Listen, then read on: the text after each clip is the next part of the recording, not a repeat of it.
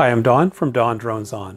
What are you expected to do in the event of a drone incident or a crash? And when do you have to report it? Good questions. Let's find out.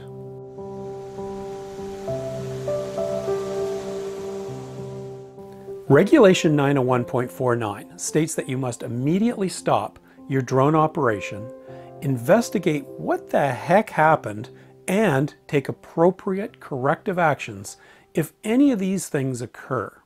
Number one, if somebody requires medical attention. Number two, even if they don't require medical attention, if you hit somebody with your drone.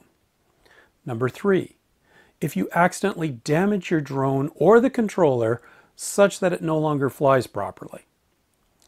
Anytime your drone flies too far or too high, or if you have a collision with another aircraft, or even if it was a close call. And anytime the drone becomes uncontrollable, has a flyaway, or goes missing. And finally, if the police get called, or if there's a CADOR, which is a Civil Aviation Daily Occurrence Report, and it has been issued. In any of these cases, you must stop, investigate, which means you need to investigate, and take corrective action. But note that most of these types of incidents do not require you to engage the Transportation Safety Board, the official organization that investigates and reports upon aviation incidents and accidents in Canada. So when do you have to report a drone incident to the Transportation Safety Board? Well, that's actually a really good question. In the October 8th, 2020 edition of the AIM, it states three types of cases when you need to report to the TSB. One, if someone is killed or seriously injured. Well, this makes complete sense. And by the way, there is a definition of seriously injured. Basically means if you've fractured a limb, major lacerations, serious burns, or any injury requiring hospitalization. The second type of case is if the drone sustains structural damage. What? if I crash my Mavic into a tree and break a strut, I have to report it to the TSB? They can't be serious. Number three, if the drone is missing or inaccessible. Again, really? I lose my drone in the lake and I have to report to the TSB as well as to my wife? Well, this makes no sense. These criteria appear to have been derived from the non-drone, the manned aircraft, part of the AIM. And it makes sense there. Of course you want an investigation if there's structural damage to a manned aircraft or a plane goes missing. Well, to add to the strangeness here, on October the 30th, three weeks after this AIM revision was issued, Transport Canada sent out one of their regular Drone Zones newsletters. I'll put a link in the, in the description. And it said something completely different than the AIM, but much more sensible. Number one, you need to report a drone incident to the TSB if the drone was over 25 kilograms. Well, that makes sense. A huge drone, for sure. Or, number two, if a person was killed or sustained a serious injury. Again, this makes complete sense. And number three, if you crash your drone, regardless of the size of the drone, into a manned aircraft. And that also makes sense. And by the way, this means that if you crash a Mavic Mini or any other sub 250 gram drone with a, a manned aircraft, you do have to report it. I've followed up by calling the Transportation Safety Board and have confirmed that, yeah, these three criteria are the ones that apply to drones, not what's in the AIM RPA chapter.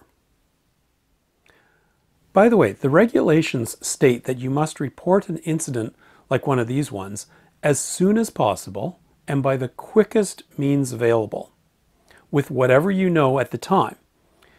Now, you, you must then follow up with any remaining information within 30 days. Which raises an interesting question. How many incidents involving drones has the TSB actually investigated? Well, this required a bit of digging, but the TSB guys were really helpful. Just to set the context, The TSB investigates about a thousand aviation incidents of all kinds in a typical year. Not surprisingly, 2020 isn't typical, with only 587 up until the end of October. So, probably around 700 expected for the full year. Of these, only a small percentage end up warranting a formal public report. The focus of the TSB is identifying areas to improve safety, and as such, they use their own judgment in determining which incidents require spending time and money on a full report. Drone related reports are a very tiny percentage of these occurrences, with an average of two per year since 2010. By the way, the TSB gets involved in only a fraction of the drone related CADOR reports, the initial unsubstantiated sightings we often see in the media.